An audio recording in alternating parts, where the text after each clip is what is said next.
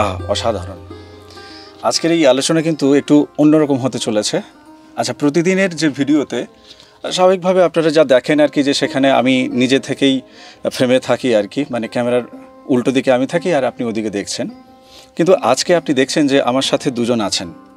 পরিচয় করাবো, কিন্তু আজকের এই যে আলাদাভাবে এই যে পুরো দেখতে পাচ্ছেন তবলা নিয়ে আমরা বসেছি আর কি, আলোচনা করতে। এর পেছনে যেটা মূল বিষয় সেটা হচ্ছে যে আমার এই চ্যানেলের মাধ্যমে আপনাদের সাথে যে জায়গাটা আমি যোগ করার চেষ্টা করছি, আপনাদের জীবনে যে ভ্যালুটা যোগ করার চেষ্টা করছি যে আধ্যাত্মিকভাবে যদি আপনি জুড়ে থাকেন, অর্থাৎ আধ্যাত্মিকভাবে যদি আপনি জুড়ে থাকেন, সেই ভাবনায় যদি থাকেন, তাহলে আপনার প্রত্যেকটা কর্ম আপনাকে কিন্তু সফলতার একে- একেবারে চরমে আপনাকে নিয়ে যাবে এই আধ্যাত্মিক ভাবনাটা, এই ভাবটা। আজকে আমারও যেমন সৌভাগ্য, আপনাদেরও সৌভাগ্য, কেননা এই চ্যানেল আধ্যাত্মিক চ্যানেল। আজকে আমাদের সাথে এই এপিসোডে যিনি আছেন, এটা তো আমার কাছে বিশাল পাওয়া। কেননা যে মানুষ আমাদের আমার সাথে যিনি আছেন আর কি, দাদা আছেন সুমন্ত্র গুহ, উনি এই মুহূর্তে ভারতবর্ষ তথা আমাদের ভারতীয় যে তবলা, ভারতীয় যে ইনস্ট্রুমেন্ট সেই জায়গা থেকে যদি দেখি আর কি, বিশ্বের দরবারে কিন্তু ওনার নাম। অসাধারণ উনি তবলা প্লে করেন। সেটা আমার আর বলার অপেক্ষা রাখে না। তো গুরুজি আজকে আমাদের সাথে আছেন এবং গুরুমা আছেন, সোমা গুহ, উনি আছেন। তো কথা বলব এবং আজকের আলোচনাটা একটু অন্যরকম হবে। যেমন জীবনের কথা আসবে ওনাদের, ঠিক তেমনিভাবে কিন্তু আধ্যাত্মিকতার কথাও আমরা জানব যে আধ্যাত্মিকতার পথ কীভাবে ওনার জীবনকে, গুরুমার জীবনকে কীভাবে সুন্দর এবং সফল করে তুলেছে। আজকের এই অনুষ্ঠানে প্রথমে স্বাগত জানাই গুরুজিকে। প্রণাম। আমি এই চ্যানেলের সমস্ত দর্শককে প্রণাম জানাচ্ছি। আর মা নর্মদাকে লক্ষ কোটি প্রণাম। প্রথমে যার কথা উনি বললেন আর কি একেবারে আমার মন ভরিয়ে দিয়েছেন। গুরুমাকেও আমি প্রণাম জানাই। হ্যাঁ নমস্কার। সবাইকে আমি প্রণাম জানাচ্ছি আমার গুরুকে এবং মা নর্মদাকে অবশ্যই অবশ্যই প্রণাম। যারা কলকাতায় বিভিন্ন গ্রাম থেকে আসে আর কি পড়াশোনার জন্য বিশেষ করে আমি বলছি তবলা নিয়ে বলছি যারা রবীন্দ্র ভারতীতে ভর্তি হচ্ছে বা বিভিন্ন জায়গা থেকে তবলা শেখার জন্য আসে কলকাতায়। তাদের কাছে স্যারের সাথে দেখা করতে পারাটা, গুরুজির সাথে দেখা করতে পারাটা একটা বিশাল ব্যাপার। কিন্তু এই যে দেখা করতে পারাটা বিশাল ব্যাপার, এটা তো শুরুতে এমন ছিল না। তো শুরুটা কীভাবে হয়েছিল গুরুজির জীবনের পথ চলা, তবলা নিয়ে, তার ছোটবেলা, বেড়ে ওঠা সব কিছু কিন্তু জানব আমরা। এবং তার সাথে সাথে আধ্যাত্মিকতার জায়গা থেকে তিনি কবে আধ্যাত্মিকতা তার জীবনে প্রবেশ করল এবং কীভাবে জীবন বদলালো? আজকের এই এপিসোড কিন্তু আপনি আপনার ছেলে মেয়েদেরকে নিয়ে দেখুন। আসুন আমি একটু গুরুজির সাথে কথা বলি এরপর গুরুমায়ের সাথে কথা বলব অবশ্যই। আচ্ছা আপনার বেড়ে ওঠা কোথায়? ছোটবেলাটা কোথায়? আচ্ছা তার আগে আমি বলি আমি কিন্তু গুরুজি নই। গুরু হচ্ছেন আমার জ্ঞান প্রকাশ ঘোষ আমার গুরু এবং আমার আধ্যাত্মিক গুরু যিনি আছেন ছিলেন।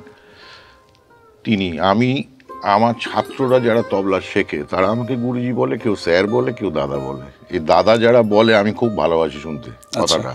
মানে খুব আপন মনে হয়। কারণ গুরু গুরু হতে গেলে যে স্তরে উঠতে হয় যে জায়গায় রিচ করতে হবে সে সংগীত জগতে হোক আধ্যাত্মিক জগতে হোক সে জায়গাটা এখন আমি রিচ করিনি। কারণ আমি যে জিনিসটা খুঁজছি এখনও পাচ্ছি না। আচ্ছা। হুম। আচ্ছা। কারণ এই জীবনে পাবো কিনা জানিও না। আচ্ছা। সেই জন্যে আমাকে যদি তুমি দাদা বলো আমি সব থেকে খুশি হব। আচ্ছা বেশ আমি আপনাকে দাদা বলেই সমাধান করছি। আপনার ছোটবেলা কোথায় কেটেছে? আচ্ছা ছোটবেলায় আমার কলকাতাতেই কেটেছে। আমার জন্ম ভবানীপুর। হুম। তারপর ওই চার বছর পাঁচ বছরে আমাদের বাড়িতে গান বাজনা চল ছিল আচ্ছা। সবাই করতেন গান বাজনা ভালোবাসতেন। আমার কাকা ছিলেন সত্যব্রত গুহ উনি গত হয়েছেন উনি সেতার বাজাতেন। আচ্ছা। তো ওনার কাছে এক ভদ্রলোক আসতেন ওনার বন্ধু উনি তবলা বাজাতেন। হুম। তা আমি গিয়ে শুনতাম যখন ওনারা প্র্যাকটিস করতেন। বেশ আমার তবলারও ছোক ছিল আমি মাঝে মাঝে এই কৌটো টৌটো এসব ইয়ে করতে করতে আচ্ছা। ওনার যে তবলাটা আমাদের বাড়িতে রাখা ছিল হ্যাঁ। আমি একদিন কাকা অফিসে থাকাকালীন আমি বার করেছিলাম বিকেলে। আচ্ছা। খাটের তলায় থাকতো আমি একটু টুং টুং করে বাজাচ্ছি করছি যাই হোক তারপরে উনি আড়াল থেকে শুনেছিলেন। আচ্ছা।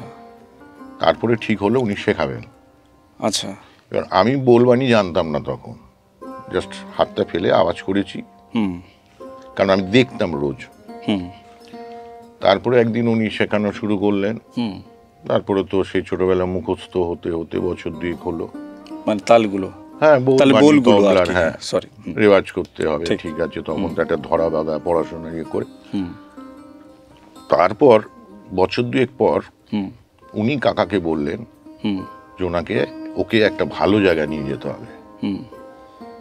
তা কাকা বলল কার কাছে নিয়ে যাব? হুম। তা আমার একজন সিনিয়র গুরু ভাই ছিলেন। মানে আমরা তখন ছোট হুম। পণ্ডিত কানাই দত্ত। উনি ছিলেন কাকার বন্ধু। হুম। তো কাকা বলল উনি তো আমাদের ঘরের লোক। আমরা বড় গুরুজির কাছে যাব। মানে গুরু জ্ঞান প্রকাশ ঘোষ। আচ্ছা আচ্ছা। হুম। তো আমাকে নিয়ে গেল। হুম। আর সেই যাবে যখন তখন ওটা বাহাত্তর সাল। বাহাত্তর সালের হ্যাঁ। আচ্ছা। তো তার আগের জানুয়ারি মাসে আমার বাবা মারা গেছে। আচ্ছা। ছোট ন্যাড়া মাথা চুল সবে হয়েছে। কত বছর বয়স তখন সাত। সাত বছর বয়সে। আচ্ছা বেশ। এবার গুরুজির স্কুলে গেছি হুম। যেখানে উনি ক্লাস করাতেন ল্যান্সডাউন রোডে। হুম। সৌরভ প্রচুর ছেলেরা বসে আছে। আমি তো একটু ভয় ছিল। হুম।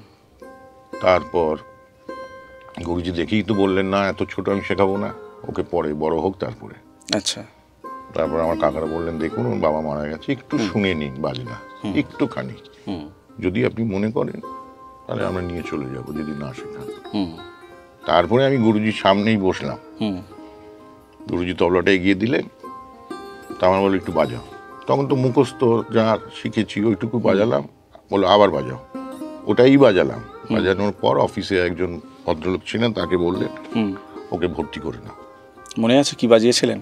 হ্যাঁ সেটা মনে আছে। আচ্ছা। ছোট্ট একটা টুকরো বাজিয়েছিলাম আর তার আগে একটা জিনিস সেটা আমি একটু শুনিয়ে দিচ্ছি। হ্যাঁ হ্যাঁ একটু শুনি আমরা। হ্যাঁ।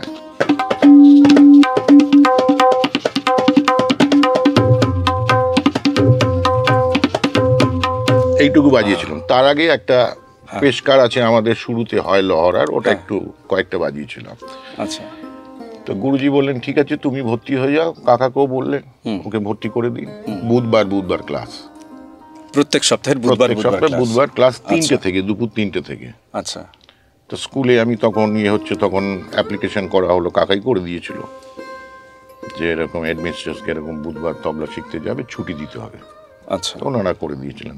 যাই হোক চলতে চলতে চলতে চলতে তারপরে এক বছর মাথায় তখন ওই আমাদের ময়দানের ওখানে বঙ্গ সংস্কৃতি সম্মেলনের কনফারেন্স হতো ক্লাসিক্যাল আচ্ছা। গুরুজি বললেন এবং তালবাদদের প্রোগ্রাম হবে ছোটদের একটা ব্যাচ থাকবে। আমরা পাঁচ ছজন ছিলাম। আচ্ছা। ওটা টোটাল ছিল পঁয়ত্রিশ জন। বিভিন্ন রকমের চামড়ার ইনস্ট্রুমেন্ট আর গুরুজির তবলা তরঙ্গ। হুম। ওটা হলো তারপরে শিশির মঞ্চে হলো। এবার আস্তে আস্তে আমি বড় হচ্ছি। এবং এই তবলার সাথে সাথে আমার একটা মস্ত বড় ঝোঁক ছিল। আমার বাড়িতে যেহেতু সবাই বেলুর মঠের দীক্ষিত আচ্ছা। রামকৃষ্ণ মিশনের। আমার মা অনেক বই আনতেন। তো তখন তো থেকে তারপরে বাড়িতে আলোচনা হতো। হতে হতে। তারপরে একটু ওই আধ্যাত্মিক বইপত্র পড়তাম অনেক কিছু বুঝতে পারতাম না। আমার একটা টান ছিল বইয়ের ওপরে। এটা আপনার কত বছর বয়স এগারো বছর বারো বছর। আচ্ছা মানে তখন তো গল্পের বই বা বাড়িতেই একটা যেহেতু অ্যাটমসফিয়ার ছিল। বই না ওই বইগুলো মান তো মা ঠাকুমা আলোচনা করতেন আমি তো থাকতাম শুনতাম এই বলছেন ওই বলছেন উনি এই বলেছেন এই মহারাজ এই বলেছেন এই করতে করতে তারপরে আমার জন্মাবার পর কি আগে একটা পিরিয়ড সেটা মার কাছে শুনেছি। আমার পিসুমশাই মানে ছোট পিসুমশাই বারোদি থেকে লোকনাথ বাবার একটা ছবি এনেছিলেন লোকনাথ ব্রহ্মচারী। আচ্ছা। সেই ছবিটা আজ পর্যন্ত আমি কোথাও দেখিনি। ব্ল্যাক অ্যান্ড হোয়াইট লোকনাথ ছবি। লোকনাথ বাবার যে ছবি হ্যাঁ সে চুল আচ্ছা, খোলা। আচ্ছা। হুম চুলটা খোলা এরকম উস্কো খুস্কো চুল। হ্যাঁ অদ্ভুত ছবিটা আর সাদা কালো। আচ্ছা। ওটা মাকে এসে দিয়েছে বলছে যে বৌদি এটা রেখে দিন। হ্যাঁ। তো মা ওটা ঠাকুরের আসনে রেখেছিল। হ্যাঁ। তো সে তো আমি রোজই দেখতাম ইয়ে করতাম। তার মাকে আগে আমি জিজ্ঞাসা করেছিলাম বলেছিল "এই মহাযোগী আচ্ছা। লোকনাথ ব্রহ্মচারী এরকম নিয়ে। তারপরে সেই ছবিটা এরকম আরেকটা ছবিও আমি জোগাড় করেছিলাম ওরকম না অন্যরকম যোগী। আচ্ছা। ওরা আমি যখন বাড়ি থেকে বেরোতে শুরু করি হুম। তখন আমি লোকনাথ বাবার একটা ছবি এনেছিলাম আমার ঘরে রাখা থাকতো। এইবার যখন আমার আঠেরো উনিশ বছর বয়স হয় কুড়ি বছর আমি লোকনাথ বাবার বই মার কাছ থেকে নিয়ে পড়তে শুরু করি। আচ্ছা। যে ওনার কি বক্তব্য উনি কি করেন কি এইসব করতে করতে আমার ভীষণ ইন্টারেস্ট হয়ে যায়। হুম। আর উনি একটা জায়গায় বলেছে যে আমাকে কাউকে কিচ্ছু করতে হবে না তিন গাছা দুব্য দিয়ে আমাকে পুজো করবি তাহলেই হবে। আর মনে মনে যা প্রার্থনা করে করবি। হুম। তা আমি ওই দুব্য দিতাম না। প্রথম প্রথম একটু জল দিয়ে দিতাম তারপরে আবার স্নান করে পড়ে যেত তারপরে চন্দনে পরে তারপরে এমনি থাকতো ছবি। কিন্তু আমি রোজ প্রার্থনা করতাম। আচ্ছা। হুম। এই করতে করতে তারপরে একটা পিরিয়ড যখন এলো আমার পঁচিশ তিরিশ এই ফেজের মাঝখানে তখন অনেক কিছু বই আমি পড়েছি। এক ভদ্রলোক তপমুভি নর্মদার সাতটা খণ্ড কিনেছিলেন। কিন্তু আমি চাইতেই পারিনি। এক প্রথম খণ্ডটা একটু দিয়েছিল পড়েছিলাম। তারপরে পুরোটা পড়া হয়নি তো? মানে বেরিয়ে চলে গেছে বইটা। বিভিন্ন যোগীদের বই আমি আস্তে আস্তে কালেক্ট করলাম। হুম। যোগীদের সম্পর্কে আমার যে উৎসাহটা বেড়ে গেল। বেড়ে গেল। বেড়ে গেল এই কারণে যে অনেক জায়গা দেখছি এই তপভূমি নর্মদা তো পড়েছি বারোশো বছর বাইশশো বছর আচ্ছা। সিদ্ধযোগীদের যে সিদ্ধ পুরুষ হ্যাঁ, হ্যাঁ যারা হ্যাঁ। এটা কি করে হচ্ছে? আচ্ছা মানে এটা এটা আপনাকে তখন ভাবাচ্ছে আর ভাবাচ্ছে আচ্ছা। আর বই যেগুলো পড়ছি ওনাদের বাণী পড়ছি সবই পড়ছি সব ঠিক আছে। বিবেকানন্দর বইও পড়েছিলাম হুম সবই ইয়ে। কিন্তু একটা কোথায় আমার একটা ধোঁয়াশা হচ্ছিল। কি ধোঁয়াশা? ধোঁয়াশাটা বলছে যে ওনারা বলছেন এই এই করো। এই এই করো মানে কি? যেগুলো লেখা আছে। হুম। সাধারণ মানুষ যেগুলো পড়তে পারবে। কিন্তু আসল যে রহস্য সেই রহস্যটা তো বোঝা যাচ্ছে না। আচ্ছা। না সে তো নিজের ভেতর থেকে আসবে। তার তখন আমি আমার বাজনা তো চলছেও ঠিক আছে। তালিমও চলছিল সবই হচ্ছে। হুম। তখন আমি ওই লোকনাথ বাবাকে প্রায় বলতাম আচ্ছা আমার মা দীক্ষা হয়ে গেল কাকার দীক্ষা হয়ে গেল? মা বলছে তুমি কি দীক্ষা নেবে? আমি না। আচ্ছা। আমি আমি যদি দীক্ষা নিই হ্যাঁ। যোগীর কাছে দীক্ষা নেব। আচ্ছা। যারা যোগী। হুম। তো বলল কোথায় পাবে? আমি জানি না। যদি পাই নেব নালে নেব না। আচ্ছা এই বিষয়টাতে আসছে দীক্ষার বিষয়টাতে আসছি। আমি একটু দিদির কাছ থেকে একটু জেনে নিই আর কি তো আপনার ছোটবেলাটা কোথায়? আমার জন্ম ভবানীপুরে কলকাতাতে। আচ্ছা ওখানে। তো আমি আপনার আপনার সম্পর্কে যতটুকু আমি জানি যে আপনি একজন নৃত্যশিল্পী। তো আপনার এবং অভিনেত্রী আপনি। তো এই যে বিষয়টা যেটা আপনার ধরুন আহ, নাচের দিক আমি অভিনয়ের কথা যদি বলি আর কি। তো এটা যে সময় থেকে শুরু হয়েছে সেই সময়টা কোন সময়? মানে কখন থেকে আপনি এটা চর্চা শুরু করলেন? এটা আমি বলি এটা শুনলে সবাই একটু অবাক হয়ে যাবে। যে সময় আমাদের বাঙালি ঘরেতে ঘরেতে মেয়েরা মানে নাচ ছেড়ে দেয়। বা যে কোনো শিল্পকর্ম যদি ছোটবেলায় করতো বা সেটা ছেড়ে দেয় বিয়ের পর। আমার জীবনে ঠিক উল্টো হয়েছে। আমার ছোটবেলায় অনেক স্বপ্ন ছিল অনেক স্বপ্ন ছিল আমার শিল্প জীবন ঘিরে আমার সেই সমস্ত স্বপ্ন পূরণ হয়েছে বিয়ের পর এবং সেটা অবশ্যই আমার স্বামীর হাত ধরে। অসাধারণ। যে সময় মেয়েরা ছেড়ে দেয় সেই সময় আমি শুরু করি। আমি একটু বেশি বয়সে আমার বিয়ে। তো আমি সেই তিরিশ একত্রিশ বছর বয়সে ওরই উৎসাহে যেহেতু ওই প্রফেশনে রয়েছে প্রচুর গুণী মানুষের সাথে ওর আলাপ। তো তার আগে বলি আমার একটা স্পাইনাল কর্ডে একটা মেজর অপারেশন হয়। তো সেই কারণে বাড়ির লোক খুব একটা গা করেনি যে নাচ কারণ আমার সব কিছু বারণ ছিল করা। তো সেখানে ও আমাকে বলেছে তোমার এত ইচ্ছে তুমি করবে? তখন শুরু করলাম তো গিরিধারী গুরুজির কাছে ওর যখন আলাপ ছিল উনি ওনাকে বলল যে এরকম আমার তো সোমার এরকম অপারেশন তো ও কি নাচ করতে পারবে? তো গুরুজি বলেছিলেন ও যদি এরকম গোড়ালির ওপর একুশ বার হেঁটে যেতে পারে তাহলে ও যদি পেন না হয় তাহলে ও করতে পারবে। তো আমাকে এসে বলতে আমি তো চরম উৎসাহে শুরু করলাম গোড়ালির ওপর ঘষে মানে গোড়ালিটাকে এ করে করে করে যাওয়া। দেখলাম আমার কিছু হয়নি। তো সে আমার জার্নি শুরু আমি ছোট ছোট বাচ্চাদের সঙ্গে দাঁড়িয়ে নাচ শিখেছি কেন? আমি জানি শেখার কোনো বয়স নেই শিখতে কোনো লজ্জা নেই। না, এটা আপনি যতটা সহজভাবে জানেন কিন্তু এই মুহূর্তে যারা দেখছেন আর কি তারাও আমার সাথে একমত হবেন যে আমরা অনেক কিছু জানি কিন্তু মানি কোথায়? মানাতেই আমাদের অনেক সমস্যা আছে আর কি। তো আপনার ডান্সের জার্নি শুরু হয়ে গেল। আচ্ছা এইবারে আমি আরেকটা দিকে একটু আসি আর কি। যেহেতু দীক্ষার বিষয়টা নিয়ে দাদার কাছ থেকে আমি শুনছিলাম আর কি তো আমি যতটুকু আপনাদের সাথে এই এপিসোড শুরু হওয়ার আগে কথা বলছিলাম আপনাদের সাথে যে দীক্ষাটা আপনাদের একসাথেই হয়েছে। তো সেটা একটু আপনার কাছ থেকে অর্ধেকটা শুনি তারপর বাকিটা দাদার কাছ থেকে শুনব। কেননা অন্য সময় তো দাদার কাছেই মাইক্রোফোনগুলো বেশি যায় আর কি আজকে একটু আপনার থেকেই শুনি আর কি। হ্যাঁ ও যেটা বলছে যেরকম আমারও ছোটবেলা থেকে একটা আহ, ভগবানের বিশ্বাস ভগবানের ভালোবাসা সেটা আমার ছোট থেকেই ছিল। তবে ওর মতন এই ক্রিয়াযোগ বা যোগীর ঘরে সে সম্বন্ধে আমার কোনো ধারণা ছিল না। কিন্তু আমি ভগবানের প্রত্যন্ত মানে বিশ্বাসী ছিলাম। তার কারণ কি? আমি ছোটবেলায় খুব গল্প শুনতাম। আমাদের সময় একটা গল্প শোনার একটা চল ছিল তখন বাড়িতে। সব বাচ্চারা হ্যাঁ ভাই বোনরা বসতাম এবং দুপুরবেলা হোক রাত্রিবেলা হোক গল্প বলো গল্প বলো ভীষণ বিরক্ত করতাম আমরা। তো ঠাকুমা দিদিমা যারা থাকতো মারা তারা গল্প বলতেন। তো আমি নানান শ্রীকৃষ্ণের নানান কথা কিরমভাবে ভক্ত মানে কীভাবে বিশ্বাসটা মানুষের আসল হুম। সে নানান গল্প শুনতাম। গল্প শুনতে শুনতে আমার একটা ভেতরে একটা ভক্তি একটা ভগবানের ভগবানের প্রতি একটা আগ্রহ গড়ে উঠেছিল। আমি পূজা আচ্ছাও করতাম খুব নিজের মনে। ওই ঠাকুরের ছবি এনে ওই শিউলি গাছ শিউলি গাছ ছিল ওখান থেকে শিউলি ফুল কুড়িয়ে এনে মালা গেতে দুর্গা ঠাকুরের মালায় পড়া গলায় পড়াচ্ছি হ্যাঁ। ছবিতে পুজো করছি বাতাসা দিচ্ছি এসব খুব ছিল। তো কিন্তু ক্রিয়াযোগটা কি জিনিস আমি জানতাম না। এবং ওর মতন আমি এরকম যোগীদের বই পড়া বা ওই ওই সময়টা আমার হয়ে ওঠেনি। আমি গল্প আমি খুব বই পোকা ছিলাম। গল্পের বই পড়তাম ঠাকুর দেবতার বইও পড়তাম। কিন্তু ক্রিয়াযোগটা যে কি জিনিস এবং যেটাও বলছে যে রহস্য যে রহস্যটা কি? যে একটা প্রত্যেকটা মানুষের মধ্যেই শক্তি আছে সেই শক্তিটাকে জাগানো।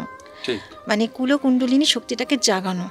জাগালে বা কীভাবে শ্বাসটাকে কন্ট্রোল করলে শ্বাসটাকে আমি সেভ করতে পারব এবং লংজিভিটি বেড়ে যাবে তখনই আমি দুশো তিনশো এক হাজার দেড় হাজার বছর বাঁচতে পারব। এই যে রহস্যটা বলছিল যা বুঝতে পারিনি।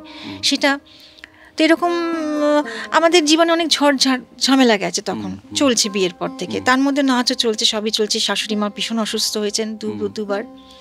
তো এরকম করতে করতে আমরা তখন একটু দিশাহারাও হয়ে গেছি যে আমাদের ঠিক গাইড করার মতন কাউকে পেলে খুব ভালো হতো। যে এরকম একটা টার্মোয়েল চলছে কি করব? তো এরকম আমার ছোট খুশ শাশুড়ি আর কাকা শ্বশুর ওনারা গুরুদেবের দীক্ষিত ছিলেন। তো ওনারাও প্রথম আমাদের কিছু ঠিক মতন করে বোঝাতে পারেননি। ওনার কাছে বলছেন চল না একবার। উনি আমাদের ছবি দেখানো হয়েছিল উনি বলছেন ওদেরকে ডাকো।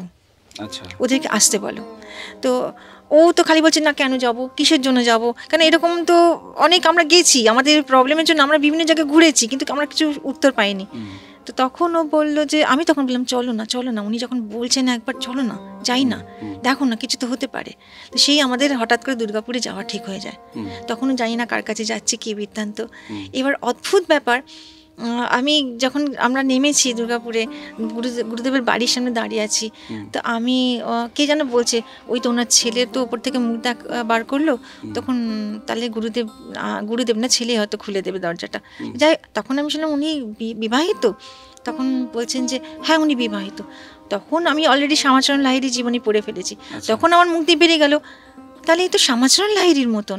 তখন কে যেন বলল হ্যাঁ এই তো শ্যামাচরণ লাহিরি বাট তখনও কিন্তু ওরাও কিন্তু কনফিউজ ওরাও আমাদের ভালো করে বোঝাতে পারছে না যেটা ক্রিয়া যোগেরই ঘর। আচ্ছা। বাবাজি মহারাজের থেকেই আসা সেটা বলতে পারছে না। তো বলছে হ্যাঁ এটা শ্যামাচরণ লাহিড়িরই তো।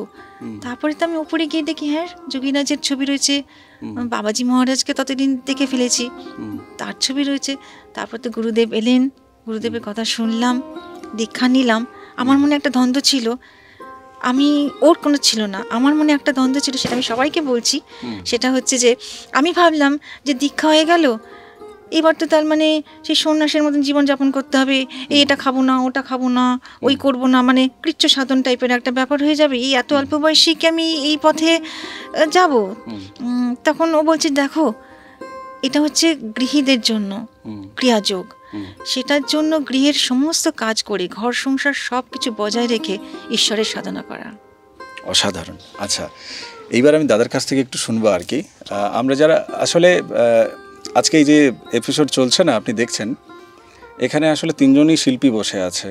মাঝখানে যে শিল্পীটা বসে আছে এনার পরিচয় আপনারা এখনও পাননি আর এপিসোডে পাবেনও না। কেননা আমার ব্যক্তিগত কথা বলার জায়গা নয় আমার আজকে যারা অতিথি তাদের জীবনের কথা না না না না না বলা যাবে না। এটা এটা এটা গোপন থাক। তো এই যে আমাদের যারা শিল্পী যারা হয় আর কি শুধু তাদের জীবনেই যে ট্রাভেলস আসে তা না সবারই জীবনে শিল্পী সবারই জীবনে সমস্যা আসে তো আমি দাদার কাছ থেকে একটু জানার চেষ্টা করব কেননা তবলা এমন একটা ব্যাপার এমন একটা প্রফেশন যেখানে যখন কোনো একটা ছাত্র বা ছাত্রী আসবে আচ্ছা ছাত্রীর পরিমাণ এখানে খুব কম, আজকাল তবুও মেয়েরা শিখছে অনেকেই, যে ছাত্ররা আসবে বারো বছর, চোদ্দ বছর এখানে দিতে হবে, নইলে সে কিছু পাবে না। আর উনি যখন তবলা শিখছেন এবং তারপরে ওনার দীক্ষা হলো বিবাহ করার পরে আর কি, বিয়ে করার পরে যখন দীক্ষা হলো দুজনের একসাথে তো সংসার চলবে কি করে? আই থিঙ্ক আমি জানি না এটা আমি এক- মানে সত্যি ঘটনা দাদা বলতে পারবে সেটা ভালোভাবে। মানে আমি সমস্যা তো হবে। যেখানে তখন থেমে গিয়েছিলাম ওই লোকনাথ বাবার পুজো যখন ঘরে ছবি ইয়ে করি তারপরে আমি ওই গড়িয়াতে লোকনাথ বাবার একটা মন্দির আছে। এখন তো অনেক উন্নত হয়েছে মার্বেল দিয়ে করেছে তখন ওরকম ছিল না একটা কাঠের ব্রিজ বাসে করে যেতাম। ভোরবেলা আমি যেতাম। একটু বসতাম প্রণাম করে চলে আসতাম। কিন্তু উৎসবের দিন যেতাম না প্রচণ্ড ভিড় হতো। আচ্ছা। যাই আমি আর যেতামই না কোথাও আমি বাড়িতেই থাকতাম। আর ছোট থেকে আমার জানি না এটা আমার মনের মধ্যে ইয়ে ছিল কোনো মন্দিরে গিয়ে আমি পুজো দিতাম না। আচ্ছা। এমনকি বাড়িতে পুজো হলেও অঞ্জলি দিই না এখনও। আচ্ছা। হুম। আমার ঠিক ওটা মন থেকে আসে না। আসে না। কারণ আমার যা কিছু ছবির সামনে দাঁড়িয়ে প্রার্থনা করা হুম। যখনই হোক কোনো তার জন্য নির্দিষ্ট কোনো টাইম নেই। হুম। তো লোকনাথ বাবাকে আমি বলেছিলাম যে আমি যদি দীক্ষা পাই তোমার মতো যোগীর মত কাছে দীক্ষা নেব। হুম। মানুষ তুমি তো আসতে পারবে না রক্ত মাংসের শরীরে। এরকম যোগীর ঘরে যেন আমার দীক্ষা হয়। হুম। মাকেও বলেছিলাম। তো দুবার আমি লোকনাথ বাবাকে স্বপ্নে দেখেছিলাম। আচ্ছা। মানে একদম দাঁড়ানো অবস্থায় হুম। হুম। তো সেটা বেশি দিনের ঘটনা নয় মানে গ্যাপ দিয়ে দিয়ে। হুম। আচ্ছা দীক্ষা তো তার আগে হয়ে গেছে। এবং দীক্ষাটা যখন হবে তার আগে বেশ টানাপোড়ান চলছিল আমার কাকার সাথে। মানে আমি জিজ্ঞেস করতে চাইছি কি কি করেন? ওনার কি আলাদা চেম্বার আছে নাকি অনেক লোক নিয়ে বসেন? এই গিয়ে আমি দেখলাম ওনার ওখানে। হুম। লেখা আছে সাংসারিক কোনো আলোচনা হয় না। এখানে বেদ উপনিষদ পুরাণ গীতা আলোচনা হয় ক্রিয়াযোগ করা হয়। এবার ক্রিয়াযোগ যে ওই লেখাটা দেখে না আমার তখন থেকেই মনের মধ্যে একটা দ্বন্দ্ব হচ্ছে। কি দ্বন্দ্ব? দ্বন্দ্বটা হচ্ছে যোগ শুনে এসছি। হুম। ক্রিয়াযোগটা কি? আচ্ছা। ক্রিয়াটা কি? হুম। এবার যা যা বই পড়েছি হুম। সেটার সাথে আর এই লেখাটা মেলাতে পারছি না। হুম হুম হুম। তারপরে আমরা যেখানে উঠেছিলাম বেলা চলে এলাম বিকেলে আসতে দীক্ষাটা বিকেলে হয়েছিল। হুম। তো মাথার মধ্যে তো ঘুরছে ক্রিয়াযোগটা কি ক্রিয়াযোগটা কি? তারপরে লাহিরি বাবার ছবিও দেখেছি ওখানে। হুম। বাবাজি মহারাজ লাহিরি বাবা অন্য অন্য গুরুদেবদের ছবি। হুম। তারপরে বিকেলে যাওয়ার সময় গুরুদেব কিন্তু দিনের বেলা আমাদের বলেছিলেন কতগুলো ব্যাপার। আমি মন দিয়ে শুনেছিলাম। শোনার পর দুপুরের পর যখন যাওয়ার তারা হচ্ছে তাহলে কি এটা গুরুমুখী বিদ্যা? কোনো গুপ্ত বিদ্যা? যেটা আমাদের সঙ্গীতে রয়েছে। এই বাজনাটা তো পুরোপুরি গুরুমুখী বিদ্যা। একদম তাই তুমি সামনে বসবে তোমাকে আমি দেখাবো। তোমার ভুল হলে তোমাকে দেখাবো তুমি এইভাবে প্র্যাকটিস করো। একদম পরে এটা আমি জানলাম যে এটা সম্পূর্ণ ক্রিয়াযোগটা হচ্ছে গুরুমুখী বিদ্যা। এবং গুপ্তবিদ্যা এবং লোককে দেখিয়ে করে না। তুমি যা করবে আড়ালে। বলবে না। দেখাবে না। কি করছ না করছ। ঠিক ঠিক। যখন একটা স্তরে চলে যাবে সেখানে যদি গুরু পারমিশন দেয় তখনই তুমি আরেকজনকে বলতে দীক্ষা দাও তাকে দেখাও ইয়ে তারপরে বিকেলে যাওয়ার পর যখন আমাদের দীক্ষা হলো তারপর ওনার ওখান থেকে বইও কালেক্ট করল। হুম।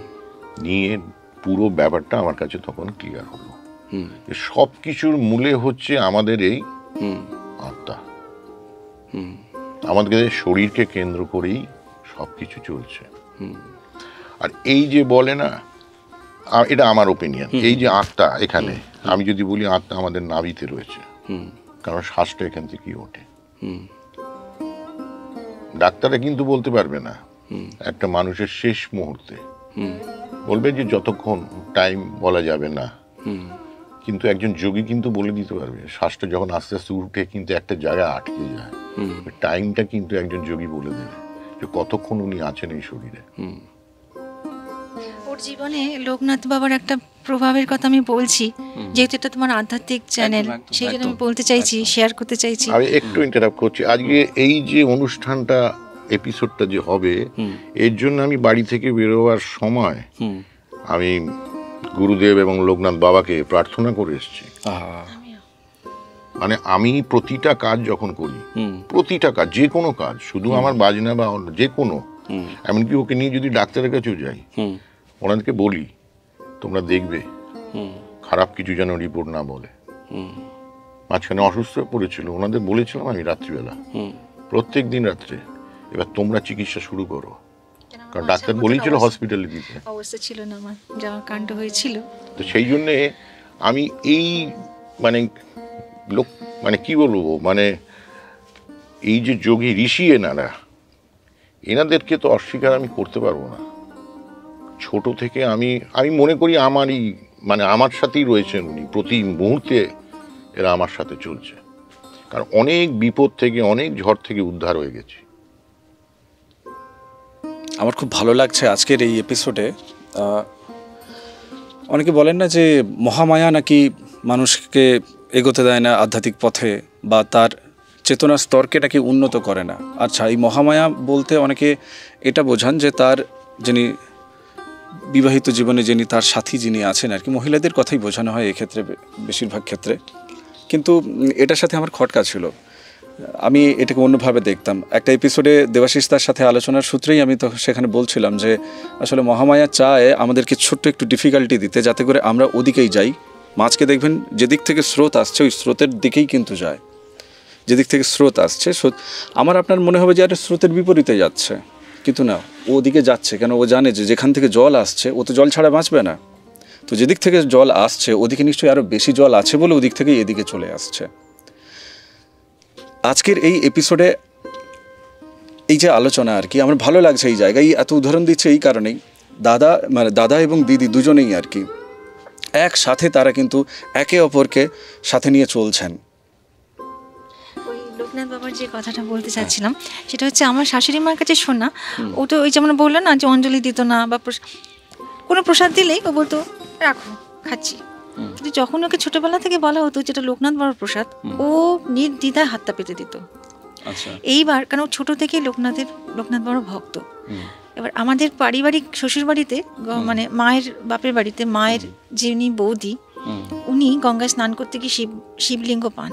এবং ওখানে অজ্ঞান হয়ে যান এবং তারপর সেই শিব প্রতিষ্ঠা করেন এবং উনি সেই শিবের পূজারী হয়ে যান। আচ্ছা। আমার মামি শাশুড়ি আচ্ছা। নৈহাটিতে। তো সেইখানে প্রতি সোমবার ওনার একটা মানে ওই যে বলে না ভর হওয়ার মতন ওনার হতো। এবার সবাই ওই শিববাড়ির নামই হয়ে গেছিল শিববাড়ি তো তখনও খুব ছোট।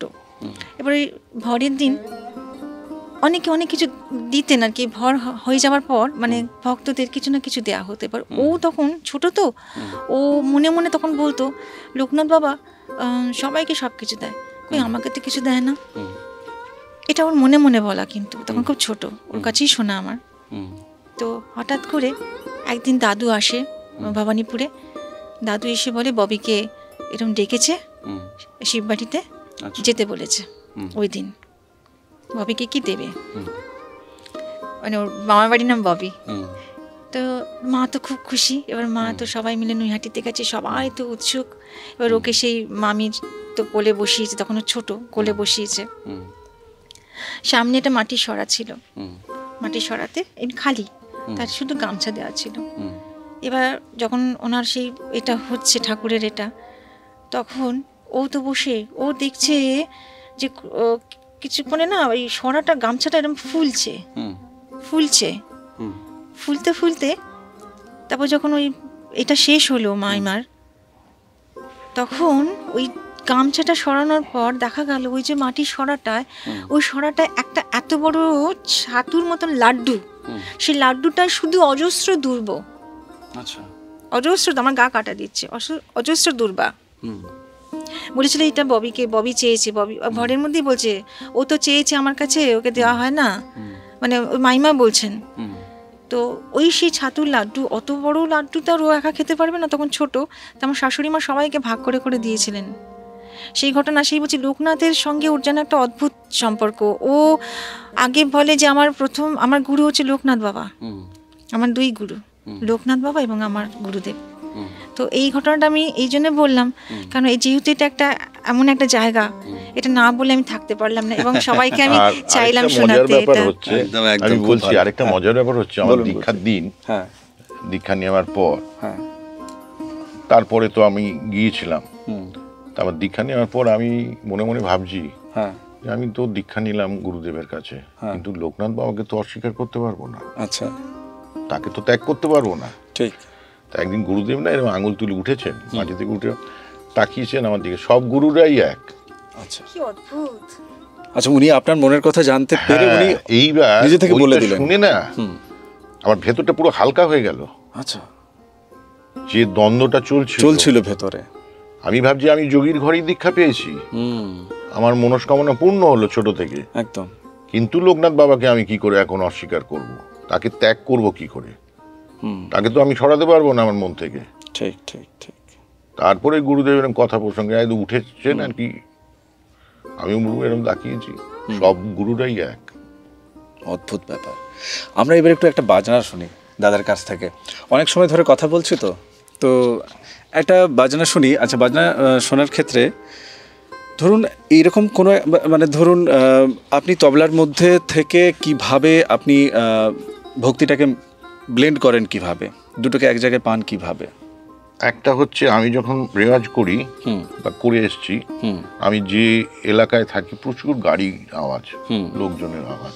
কিন্তু আমি যখন তবলাটা আওয়াজ করি যত সাউন্ড হয় একটা সার্টেন টাইমের পর ওই আওয়াজটা আমাকে ডিস্টার্ব করে না। মানে আপনার মনের হ্যাঁ। সংযোগটা এর সাথে হ্যাঁ, হয়ে যায়। হয়ে যায়। আমাকে অনেকেই বলে কি করে এখানে থাকো? এত আওয়াজের মধ্যে মেন রোডের উপর বাড়ি। আর আমি অভ্যেস হয়ে গেছে ছোট থেকে। এখানেই বাড়িতে থেকেই আমি রেওয়াজ করেছি। এখন গাড়ির সংখ্যা বেড়েছে লোক সংখ্যা বেড়েছে। সব সময় রাত্রিবেলা। তাহলে আমার কিন্তু কোনো অসুবিধা হয় আমাকে জানলা দরজা কিচ্ছু বন্ধ করতে হয় না। আমার বাজনাটা কিন্তু আমি বাজিয়ে যাচ্ছি ওর মধ্যে। অসাধারণ কিন্তু এটা। আমার মনে পড়ছে কারণ একটু ধ্যান জব করতে গেলে তো ওই ওইখানে বাড়িতে থেকেই আমাকে করতে হবে। ঠিক ঠিক ঠিক আমি দূরে কোথাও যেতে পারব একদম তাই যাবোই। বা কেন? একদম তাই। আমাকে ওখানেই সব করতে হবে। আপনি একটু শঙ্খের আওয়াজটা শুনি। আচ্ছা। একটা বোল আছে আমাদের ধেনে ঘেনে ধেনে। এই এইটা কন্টিনিউ করলে একটা শাঁখের যে আওয়াজ হয় সেই শঙ্খের আওয়াজের মতন হবে। আমি বোলটাই বাজাচ্ছি।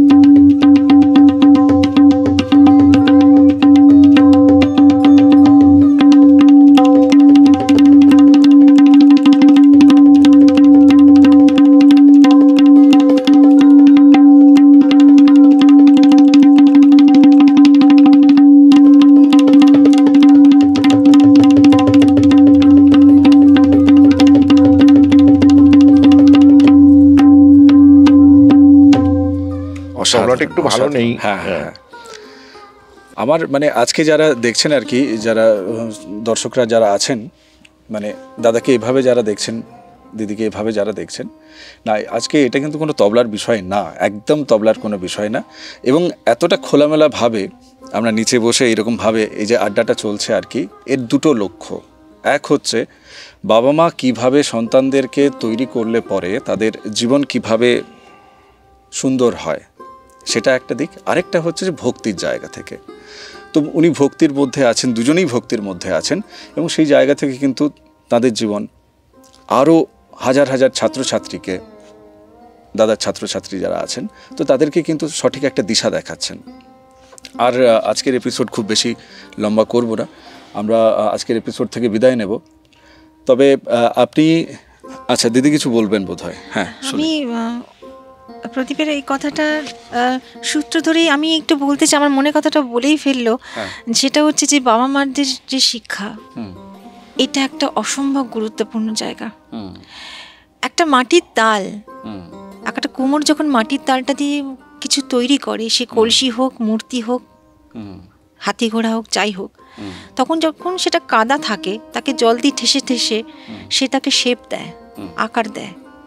তখন যেটা তখন তারপরে যখন সেটাকে আগুনে পুড়িয়ে সে শক্ত করে তখন হাজার চেষ্টা করলেও সেটাকে আর শেপ দেওয়া যাবে না। সেটা কারণ সেটা তৈরি হয়ে গেছে। ঠিক একটা শিশু ভূমিষ্ঠ এমন ভূমিষ্ঠ না যখন মাতৃগর্ভে তখন থেকে তার শিক্ষা শুরু হয়। আমি বলব এটা এখন বিশেষ করে খুবই দেখা যাচ্ছে এটার অভাব যে ঠিক মতন গ্রুমিং ঠিক মতন বেড়ে বেড়ে তোলা সন্তানকে আমরা ভীষণ স্বার্থপর করে সন্তানকে তুলছি। তাকে বাবা মাকে যেটা দেখবে সন্তান সেটাই সন্তান শিখবে। তাকে বলতে হবে না এটা করিস না ভালো হওয়া ভালো হওয়া। আমি ভালো হলে আমারটা দেখে আমার বাচ্চা শিখবে ভালো হওয়াটা কি? হুম তো ঠিক সে বাচ্চাকে ঠিক ওই ওই অবস্থায় সুন্দর করে তৈরি করার দায়িত্বটা বাবা মার। বাবা মার দায়িত্ব। এই ওটা যাস না ওকে দিস না এই তুই খেয়ে নে তোর জন্য রাখ এটা আমাদের এটা আমার। এগুলো করতে করতে বাচ্চা ওইটাই দেখছে আমার। সংকীর্ণতা তৈরি হয়ে যাচ্ছে। কোনো উদারতা নেই। যে পাশের লোকটাকেও আমি আমার দেখার দায়িত্ব। আমি যেমন আছি আমার পাশের লোকটাকে আমার দেখার একটু দায়িত্ব। ভালোবাসা দেওয়ার একটু দায়িত্ব। আমারও। তাকেও ভালোবাসার অধিকার আমার আছে। রবি ঠাকুরের ভাষায় ভালোবাসার অধিকার। হ্যাঁ অধিকার থেকে ভালোবাসার অধিকার বোধ থেকে ভালোবাসা জন্মায়। তোমাকে ভালোবাসার অধিকার আমার আছে। নাই বা হলে তুমি আমার রক্তের কেউ নাই বা হলে তুমি তুমি আমার পাড়া পড়শি তুমি একটা অচেনা লোক। তুমি আমার ভালোবাসার যোগ্য। তো বাবা মার একটা বিশাল দায়িত্ব বর্তাচ্ছে আগামী প্রজন্মকে ঠিক করে গড়ে তোলা। তাহলেই সমাজটা অনেক অনেক সুস্থ হবে। যে সমাজটা এখন বিষাক্ত হয়ে গেছে। একদম সত্যিই তাই। আজকের এপিসোড একেবারে শেষে। আপনাদের সকলকে অনেক ধন্যবাদ জানাই কৃতজ্ঞতা জানাই। আর সব থেকে আজকের এপিসোডে আমি আহ, সত্যিই আমার খুব ভালো লাগছে। আচ্ছা আরেকজনকে আজকের এপিসোডের জন্য কৃতজ্ঞতা জানাতে হবে। সে অবশ্য আমার বন্ধু। তাকে কৃতজ্ঞতা, অবশ্যই কৃতজ্ঞতা জানাব এপিসোডের মাধ্যমে, কেননা সে দাদার ছাত্র, জ্যোতির্ময়। জ্যোতির্ময় দাস আসামে। ও তবলা নিয়ে দাদার কাছেও শিখছে আর কি। অনেক দিন ধরেই ও শিখছে। আর তবলা নিয়ে ও বহুদিন ধরে চর্চা করছে। ওর সাথে আমার রবীন্দ্রভারতীর সূত্রে আলাপ।